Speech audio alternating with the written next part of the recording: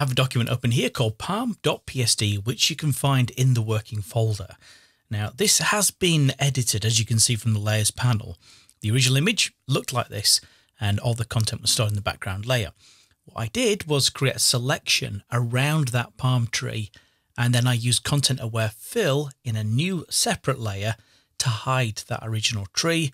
And then I created a copy of it and put it into a layer of its own right at the top of the stack called palm. So this technique really works at its best when we are working with just an item in a layer that you wish to edit. In this case, it's just the palm tree. So if I hide the other two layers, that's all that I have. It's just a very kind of basic selection of that portion of the tree and it's got a little bit of the blue sky in there as well. So that's the only thing we're going to edit.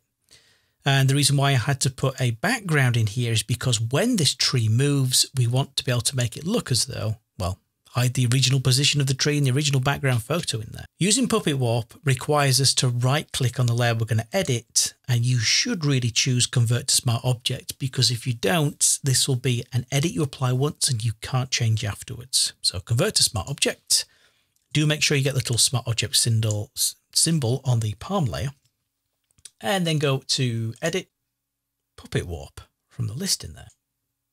Now, when this pops up on screen, it's going to zoom in a little bit closer so we can see just to focus on the palm tree portion of the image. We get this little sort of um, lattice uh, effect over the content in that layer. So wherever these little grey dividing lines are in here, that, that becomes a point of articulation. So we can more organically bend and manipulate things. Starting in the options across the top, working from left to right, under the mode here, usually normal is fine. If you wish to create something that is going to move more rigidly, like maybe an architectural image, then rigid would be the one to choose. If you need to really bend and bow things, um, then uh, distort might be the option to go for. But I would tend to say start off with normal.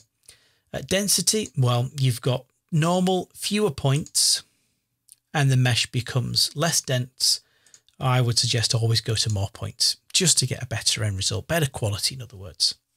Leave expansion set to two pixels. That's the default in there. And we definitely need to see the mesh in there.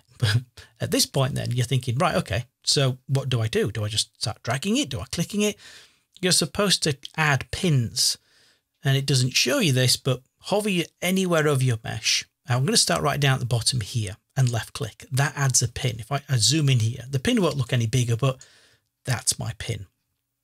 I'm going to zoom out and then I'm going to add one just around about where the horizon line is. Click in there and then pan up.